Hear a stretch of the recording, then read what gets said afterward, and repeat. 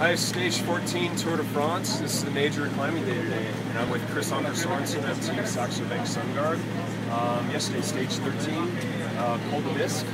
Was that a moderate effort, hard effort? How was that for you guys? It was. Um, it's uh, always a hard effort to go up a big climb like Hill Bisque. Uh, I felt good there, and it wasn't like I was on, uh, on my limits, but it shouldn't have gone much faster than it really, really done a lot of damage there. So yeah, it was a hard day, but not too hard. So I feel ready for today. But today is also a really, really hard day and a stressful day.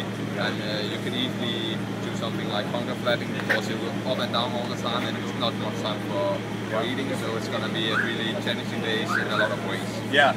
So there's a, there could be a lot of a lot of action today. So you really got to be on top of it almost every single climb. Yeah, yeah. You really need to be attentive. You need to be up front all the time. Uh, you can uh, riders attacking left and right. So yeah, it's gonna be uh, yeah, asshole of the day.